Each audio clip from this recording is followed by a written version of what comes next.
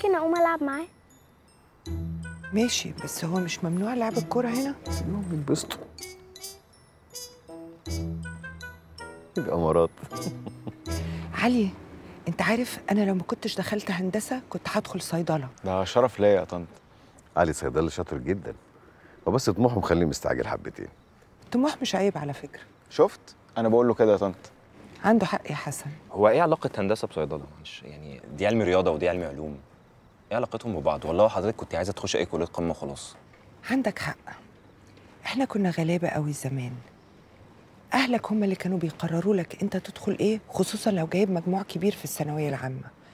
أنا أهلي بالنسبة لهم ما كانش فيه غير طب وهندسة وصيدلة فأنا ما كنتش بفكر غير في كده. وفي الآخر كلامهم طلع صح. لا طبعا مش صح. مش لازم كل الناس يبقوا دكاترة ومهندسين وبياعين أدوية. نعم بايعين أدوية. في كليات كتير قوي مهمة زي طب وهندسة بالظبط. وانت عايزة تدخلي كلية إيه يا ليلى؟ وحضرتك مهتم تعرف ليه؟ ليلى! ماما سيبيني أكمل كلامي لو سمحتي. من فضلك أنا عاوز أسمعها. اتفضلي. أنا هدخل الكلية اللي على هوا ماما مش اللي أنا عايزاها يا أنكل. انت عايزة تدرسي إيه؟ كاستم ديزاين رد عليهم امم كويس. حلوة شغلانة الترزي دي. مش محتاجة تخش لها كلية صح؟ ما هم الجهلة كلهم بيقولوا كده بس ده علم بجد. عشان كده بيدرسوه. أنا شايف إنه معلش ثانية واحدة. لو سمحتي اعتذري له اعتذروا ليه؟ أنا بقول وجهة نظري. لا لا ولا يهم حضرتك. أنا مش محتاج أي اعتذار. يعني دي زي أختي الصغيرة؟ هاخد على كلام عيلة برضو يعني. أنا مش عيلة. ما هم العيال ما بيشوفوش برضو انهم عيال. طاهر.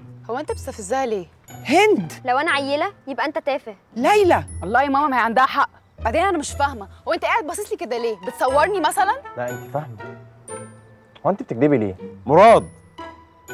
مش ذنبي بقى اللي انت قاعد ما بتشوفش. هند! انت ما شفتيش تربية بقى. لو أنا ما شفتهاش يبقى هي ما عدتش عليك ولا انت ولا اخواتك. مراد. سيبيني. مالكش دعوة بالأشكال دي. بس بقى ما يصحش كده. في إيه؟ نيلي؟ مصطفى! اتفرج استنى بس يا بابا بس بس مفيش راجل يضرب بنت مش لما يبقوا بنات أصلا. انت قليل الأدب. كتني بقى أحسن لك انت بتكلمها كده إزاي أساسا؟ هو مش قال لك الكتمي؟ يا إيه كده معاك انت يا بنت على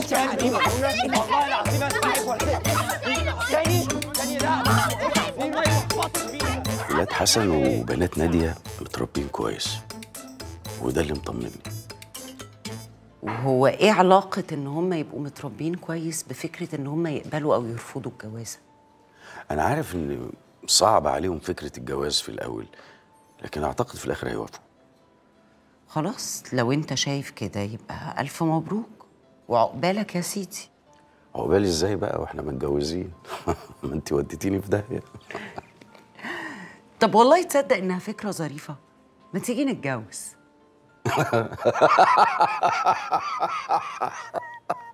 إيه المضحك في اللي أنا قلته؟ وأنا بتكلم جد. في إيه رمزي؟ انت عارفني كويس جدا وأنا عارفاك وبرتاح في الكلام معاك. إحنا عندنا اهم حاجة إحنا اصحاب. في إيه أنت بتتكلمي جد؟ آه بتكلم جد وعلى فكرة أنا ست عاقلة وبعرف أفكر كويس إيه بقى المشكلة؟ طب شوف يا شذا لو أنت عايزة تعرفيني كويس وما نخسرش بعض من فضلك ما تتكلميش في الموضوع ده تاني ليه؟ كده هو إيه اللي كده؟ إيه خدوهم بالصوت لا يغلبوكوا ده؟ في إيه؟ ما أنت بتسمع كويس في كل حاجة، إشمعنى في دي مش راضي تسمع؟ رمزي بجد إحنا عارفين بعض كويس قوي. وبنتكلم مع بعض كتير. صحيح أنا بتكلم أكتر منك بس أنا برتاح لك. حتى لو أنا معرفش عنك كل حاجة. أحسن لك ما تعرفيش. ليه بقى أحسن لي معرفش؟ والله العظيم أحسن لك ما تعرفيش. رمزي أنا عارفة إن أنت أرمل وعندك ابن وحيد وابنك ده كل حياتك. طب هقولك على حاجة، أنا موضوع الخلفة مش فارق معايا خالص. أنا عندي ولاد أختي هم ولادي بالظبط. أنا بدور على حد أعيش معاه يبقى فاهمني أكتر من إنه يبقى بيحبني.